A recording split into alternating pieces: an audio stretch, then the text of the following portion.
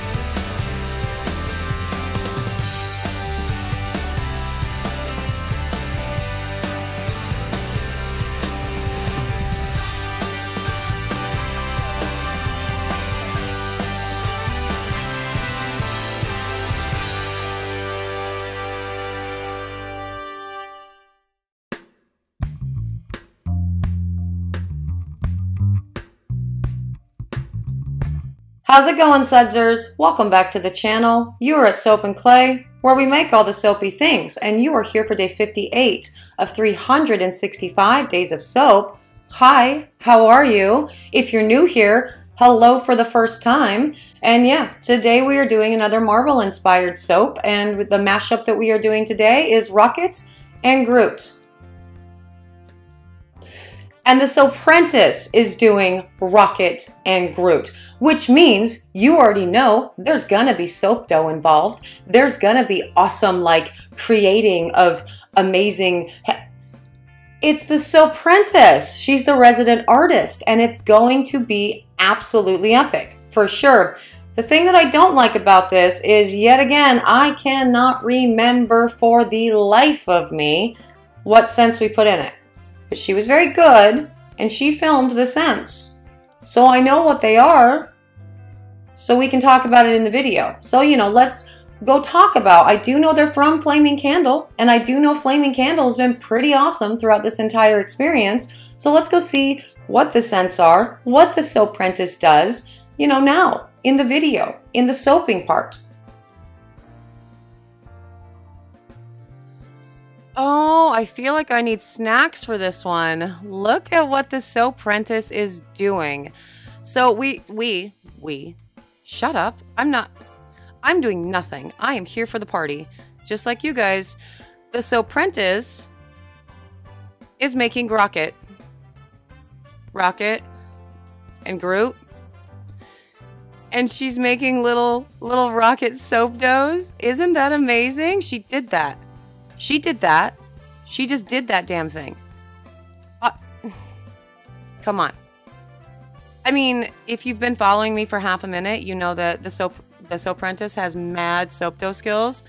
And every time she does stuff, I just love it so much and I'm always here for all of her creations, but I think this is just beyond. I mean, I don't know that I would really say that it's beyond exactly because remember when she did those lithops? Those succulents and then those other succulents. And what else? Like, she's done so many. She's so good. She's to do some soap dough surgery with this guy. If you're interested in a soap dough recipe, by the way, I've done a couple of them on the channel. And, you know, they're there. So go check them out for sure. But she also made little Groots. Look at that. That is super adorable. Now, with the scents, we are doing Honolulu Sun for Rocket, and Tomato Leaf for Groot, both from the Flaming Candle. And interestingly, when we did the when we did the blind scent test with Mr. Soap and Clay, we both immediately went, "Yeah, this smells like dirt." for the tomato leaf, but not like dirt like it smells bad. Like we would have just said it smells like shit if it smelled bad. But like it smells like dirt, like earth, like gardening. And we turned and we both went, that has to be for Groot. And we turned it over and then looked at the cheat sheet. That was Groot. It was Groot and it was perfect. So we definitely got that one for sure. But for the other one, for the Honolulu Sun, we were both it smells great. It smells like suntan lotion, but we couldn't exactly figure out why I chose that for Rocket. And I think ultimately the reason why I decided to go with that for Rocket is because out of all of them, I think he's the one that just really wants like a break to go hang out on the beach and not be saving the world all of the time. I don't he's always very begrudgingly into the whole saving the world thing anyway, right? Rocket? It's like, okay, I'll do it, but really I just want to get paid, you know? So I don't know. So that I think that was my thinking, but with that with this really earthy, very just God, the tomato leaf is so good. It would be amazing for a gardener soap. It would be it, it's really really so clean, so fresh. It's it's amazing. Paired with that very kind of sweet coconut suntan lotion scent. I'm thinking this is going to be really, really good together. Now, with this soap pour, the Soaprentice is going to be playing around with mixing cold process soap and melt and pour soap. So actually there's three different types of soap that's going into this, which is, hey, awesome. And one of the reasons why I saved this bar for the last this is my favorite bar that she made because it's a slab pour sure but it's complicated af all of the prep work that goes into making all of those soap dough guys plus soap dough and melt and pour and cold process so she will be doing a hybrid soap with cold process and melt and pour in the actual body of the soap which is amazing so i'm very interested to see you know this process play out yeah, she wanted to do this because she wanted to make a galaxy. And why does she want to make a galaxy? Well, Mrs. Soap and Clay, the answer to that is obvious. Because Guardians of the Galaxy. And that's what they are. The Guardians of the Galaxy. It's a thing. It's part of the Marvel cin Cinematic Universe. It's there, look it up, for sure. Weirdly, the first time I watched the first Guardians of the Galaxy, I remember texting the Soaprentice or talking to her at the shop. I think I was actually talking to her at the shop, and I'm like, so we watched Guardians of the Galaxy last night. And she's like, and you loved it. And I'm like, no, I hated it. And she's like, oh, oh okay, why? And she didn't, she, that's the thing about the Soaprentice. She never tries to defend her position, right? She never goes, oh my God, what are you talking about? It was amazing. She just sort of takes a step back and she's like, okay, why? That was, you know, unexpected.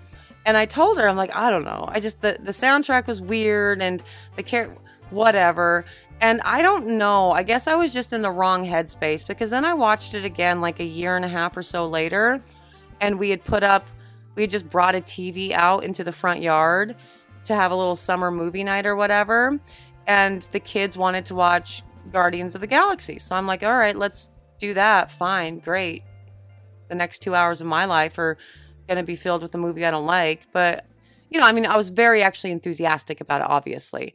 But in my mind, this is what I'm thinking. Like, you don't just tell your kids, hey, that's a stupid ass idea. But sometimes you think it, and that's normal and fine. So, you know, whatever, not the point.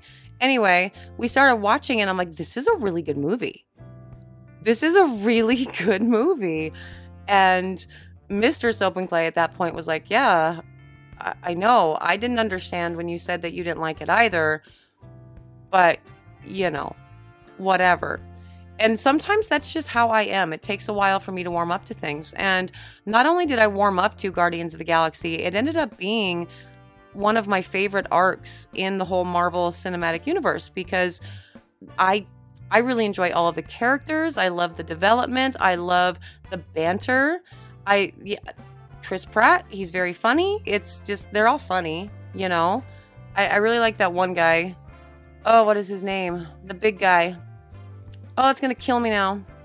He's hilarious. Just the deadpan, not being humorous, like not meaning to be humorous, but therefore it comes across really freaking funny. It's killing me. Whatever. So she's poured some uh, melt and pour into this with her cold process and all of her swirls. Let's check out the pour. Okay, now for a slab pour, as you would expect, it's a pretty short pour because most of the work is done in the back end. And you just saw all that. That was all in the prep work. Now, these scents actually did perform very, very well. There was no signs of ricing or acceleration or whatever. You're seeing weirdness in the batter because, again, it's a hybrid soap and there's melt and pour in with the rest of the soap. So there was about a pound of melt and pour that went into that. There's about 16 ounces that went into this this soap.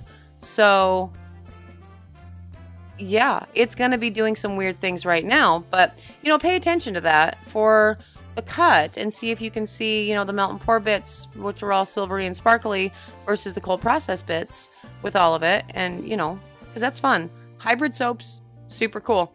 And I've said it before the weird things that you can add to soap, it just never ends. It's just, it's, it, it's wild. I mean, adding soap to soap is not exactly revolutionary. That's not weird. But adding melt and pour soap to cold process soap also not revolutionary, but it can be scary, you know, because there's that whole saponification thing and you want to make sure that that works and things don't separate and oh what do you do with the melt and pour should you put rubbing alcohol on it to make sure it sticks to the cold process no no no you don't need to do that i mean just think about like the solidified melt and pour embeds that you can easily put into cold process soap with none problems whatsoever right it's the same concept it's just the melt and pour is fluid for this so it'll all be fine for sure and that does look very galaxy esque, doesn't it? That is just beautiful. I I'm wondering if she's gonna like skewer it. I'm kind of hoping that she doesn't because it looks very galaxy esque right now. She's gonna skewer it, isn't she? She's gonna do the thing. Oh yeah, she's gonna do the thing.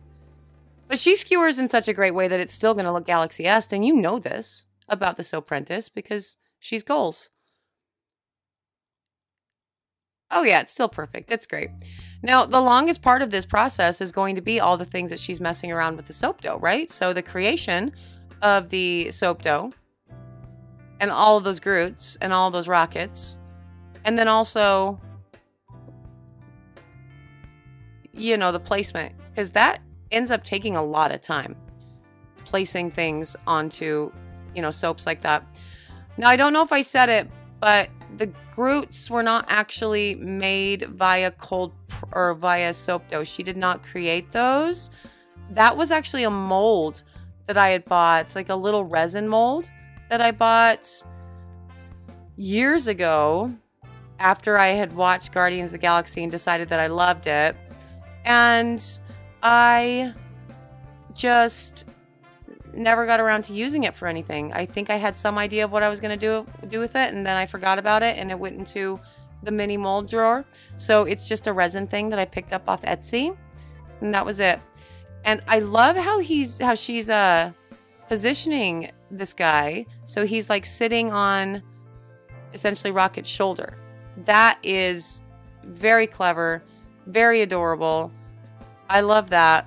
And I love that the majority of the soap dough is pretty flush with the top of the bar because that is actually pretty important, right?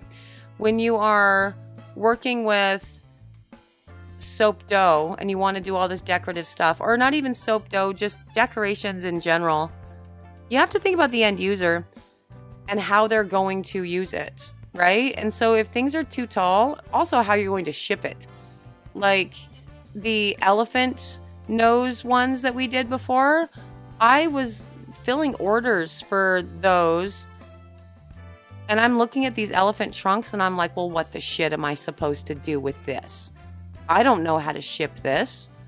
And I, you know, got creative with that. But yeah, I mean, these are very flush with the surface of the bar. So easy to ship, nothing's going to break off, and also it's not so weird that you feel weird using it because it will all just sort of wear down with the rest of the soap. This is a smart idea that she's doing with the sticks to make sure that everything's sort of even. But as you can see, because you actually have the the dead-on view of the soap mold, she does not. She does not have that. She's soaping from the side. So we can see the lines on the side and go, yeah, they're not exactly where they where you wanted them to be. Oh gosh, almost had a camera fail. That's that happens all the time too. Yep, for sure.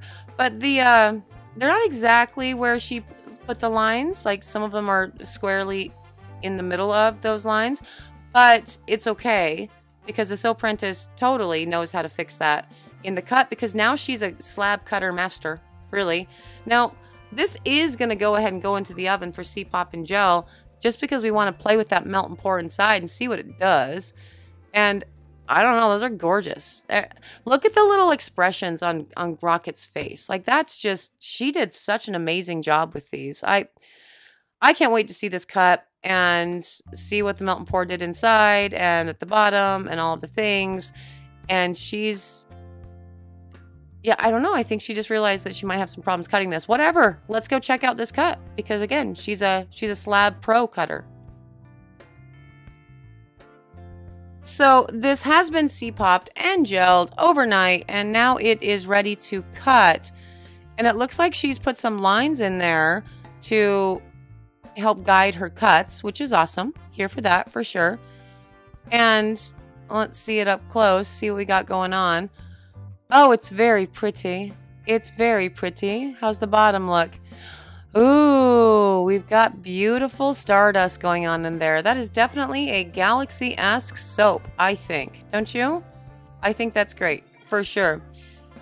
And so, going with her original cut lines, as you can tell, I think, if you look at the rest of the, the loaf, she's going to have some problems so she might have to switch some things up. But that soap is definitely Galaxy esque, and that is just gorgeous. I love the shimmer that comes through with all of that. I like the difference in sort of texture with everything for between the melt and pour and the cold process. And she's trying something different now. She's going to cut something off of the top for the right size bar, but now that means that the next bar is going to be super big. And so is that. I'm interested to see what she does with this because those two right there are really close together, right? Those four. All right, cool. I love that she's problem solving while she's doing this for sure because this is so much a part of first time soapers as you start learning how to cut bars. I mean, I make all this shit look stupidly easy at this point, and I just take knives out and cut things. But I'm actually not good with knives. It's just the nature of that. That's a huge bar. Yeah. It's just the nature of having done it so many times that I just, I know how to cut it, you know? And so she's learning this right now. And we get to be a part of the learning phase. And I remember when I was just learning how to cut slabs that had like designs on them. And obviously, when you're a soap maker, you want all of your bars to be the same weight.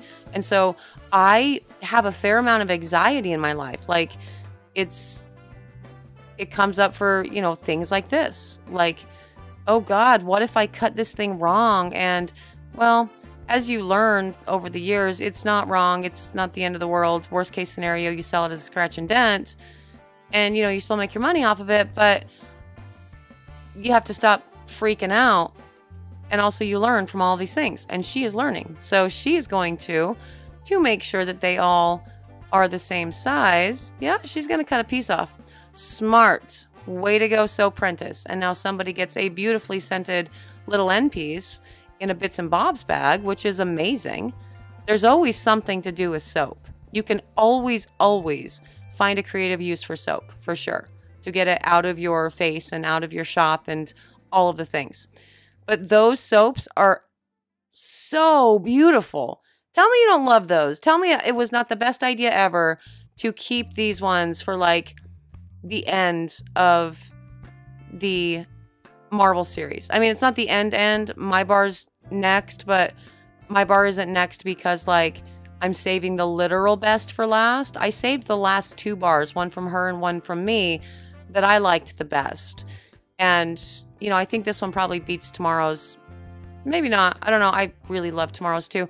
But it's perfect to be, you know, ending the Marvel series with, with, you know, Grocket. It's a.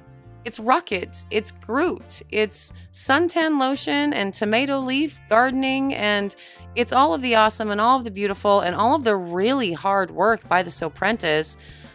And it's amazing. It's a galaxy because, you know, they're guardians of the galaxy. That is day 58. So she made a galaxy soap, which was cool in and of itself, right? That is amazing. And then she made Rocket's head. Weren't those the cutest rockets ever? And then Groot, little baby Groot, like hanging out like on. Amazing. Just across the board, so beautiful. This is why this is one of my favorite bars. My favorite of her bars, for sure in the line. And this is great. Like, I think this one is going to sell out immediately. Like, absolutely, because it's just so good. She did such a great job. The scent blend together, yes, absolutely delightful. Really, really like it. It's very interesting. But they've all been interesting and super fun. So I like that. Yes, if you are interested in the Grocket bars, you cannot get them for a couple more days. We have two more. Well, one more soap and then one more finale thing, which is going to be awesome and you have to wait because that's how we do things around here. But you can find other stuff at soapandclay.com right now, so you know, go do that. That would be cool. If you're interested in seeing what the final bar is and you're not subscribed, hey, do that thing. Click that button. It's easy. Just click the thing. I would appreciate it a lot. Yes, for those of you who are subscribed and have clicked that button, hey, thank you for having done so. I appreciate you a lot, and that is true each and every day 100% for sure.